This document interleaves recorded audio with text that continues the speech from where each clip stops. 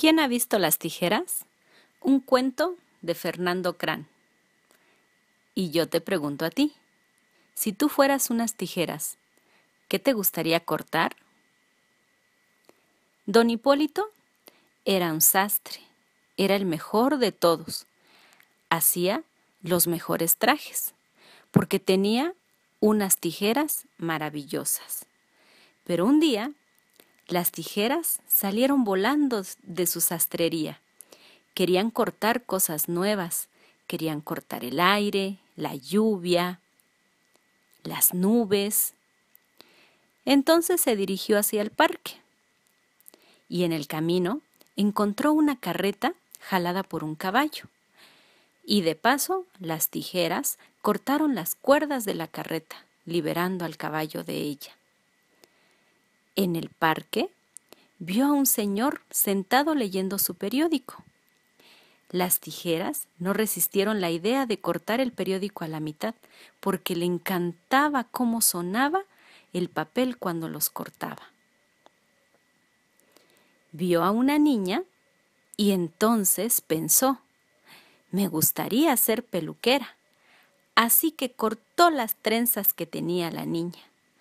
Pobre niña se quedó llorando y a las tijeras no le importó, porque más adelante vio que un señor traía un ramo de flores preciosas.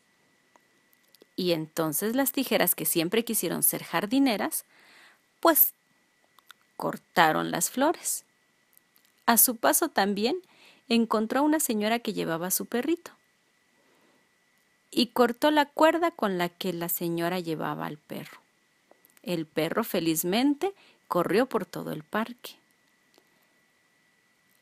Vio a un señor con una corbata un poco rara, que a las tijeras le pareció fea. Así es que, sin más ni menos, le cortó la corbata. Pasó por un restaurante chino, en donde vio colgados unos faroles. Así que decidió cortarlos cada uno de ellos. Pero uno de los faroles cayó en la cabeza del señor que iba pasando. Qué chistoso se veía con un farol en vez de cabeza.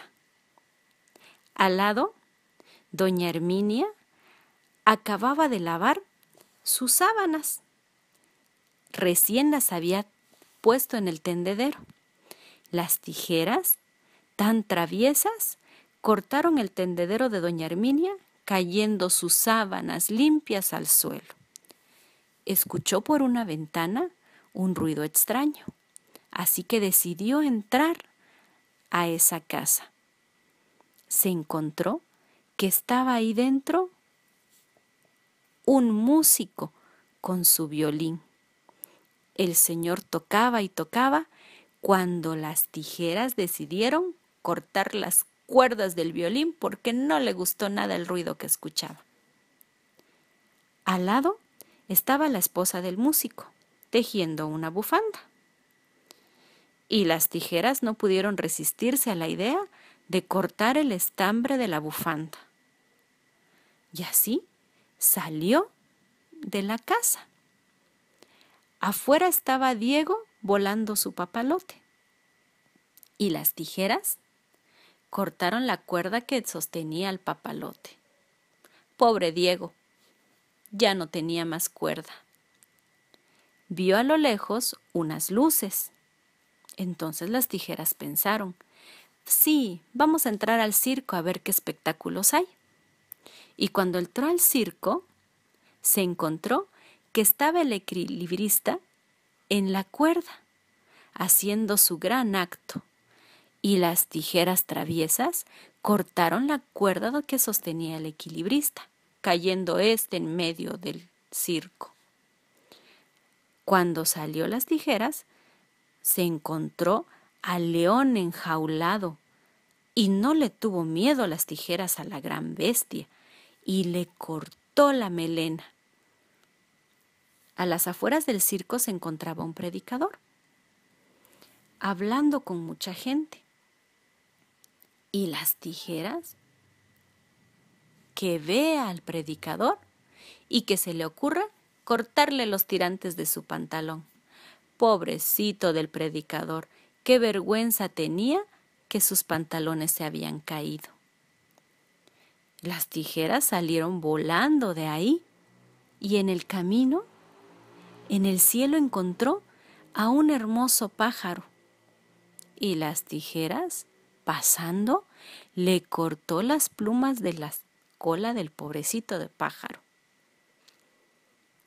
Y así regresó a la sastrería de don Hipólito, sin que él supiera las travesuras que había ya hecho sus tijeras. Cuando la vio, estaba muy contento, pero las tijeras hicieron su última travesura. Le cortó el bigote a don Hipólito. Entonces don Hipólito pensó que esas tijeras ya no deberían de ser tan traviesas. Así que lo que hizo fue tomar una jaula y encerrar a la pobre de la tijera, y le dijo, aquí te vas a quedar hasta que entiendas que no debes de hacer tanta travesura.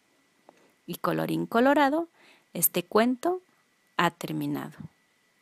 ¿Quién ha visto las tijeras?